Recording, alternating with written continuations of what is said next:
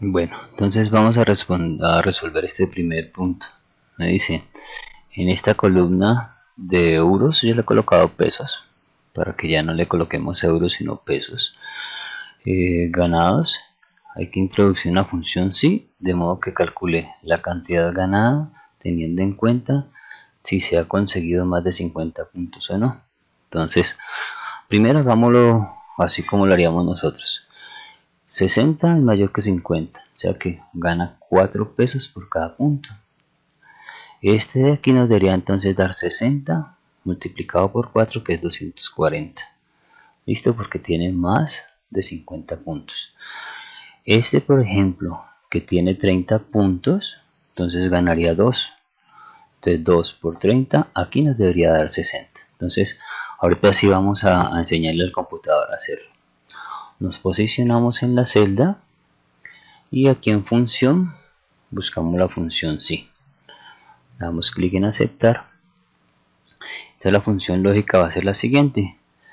Si el número de puntos es mayor a 50 mire que ya dio verdadero porque son 60 si es mayor a 50 entonces cuando es mayor a 50 me voy a ganar estos cuatro puntos en caso contrario, me voy a ganar estos dos puntos.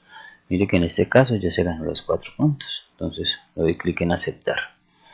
Ya me gané cuatro puntos. Me dije, ah, bueno, esos cuatro puntos yo los debo multiplicar por el número de puntos que tiene. Y efectivamente me dio 240. ¿Listo? Voy a hacer esta a ver si es verdad que está bueno. Entonces lo vuelvo a repetir. Función sí si en esta columna de puntos es mayor a 50 mire que la prueba lógica tiene que ser la misma en ambos casos. No se puede cambiar la prueba lógica. La prueba lógica tiene que ser la misma.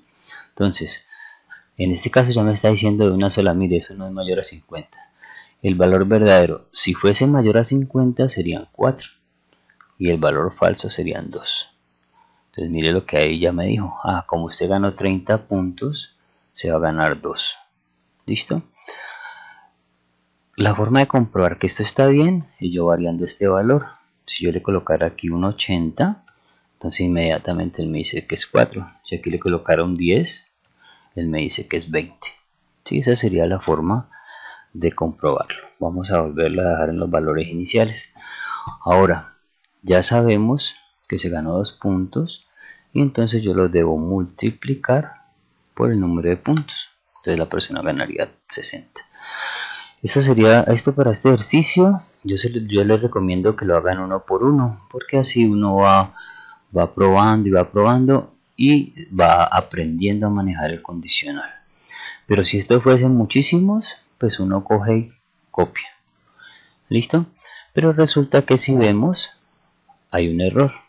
Mire que acá dice K4 y K5 y cuando me vengo acá me dice K5 y K6 y resulta que los parámetros siempre deben estar en el 4 y en el 5 mire los 4 y 5 listo tiene que estar en K4 y aquí mire aquí el nombrecito K5 resulta que nos hizo falta proteger. Para proteger yo me posiciono sobre el nombre y le doy clic en la tecla, tecla F4 me posiciono y clic sobre la tecla F4 esto nos dice que los parámetros estos que están por acá afuera siempre deben ir protegidos en una fórmula los parámetros estos que están por afuera deben de ir protegidos cuando yo tengo algo que está aquí adentro de, de, los datos con los que estoy trabajando, esos no se protegen.